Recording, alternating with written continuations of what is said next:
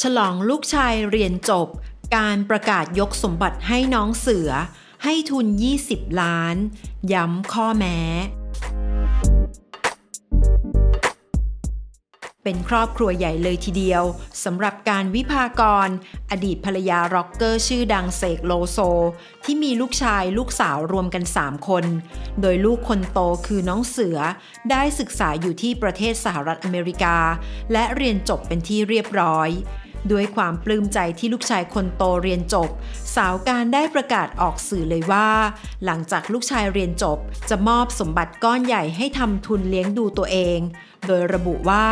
เรียนจบมาแล้ว แม่ก็ยกเต็นท์รถให้ทำโดยอิสระเลยนะเสือทำกับลุงโอ๊ตนะทำให้ดี แม่มีทุนให้ 20 ล้าน บริหารให้ดี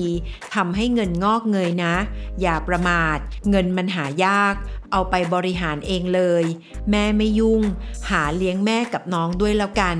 อันนี้ซีเรียสนะ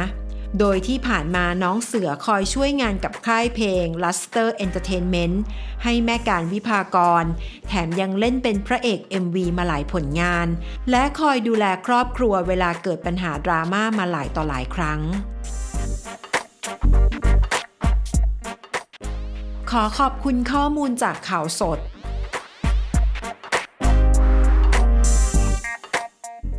อย่าลืมกดติดตาม พร้อมทั้งกดรูปกระดิ่ง เพื่อแจ้งเตือนทุกครั้งที่มีคลิปใหม่ ๆ จะได้ไม่พลาดคลิปของเรื่องเล่าข่าวค้นนะคะ รักทุกคนค่ะ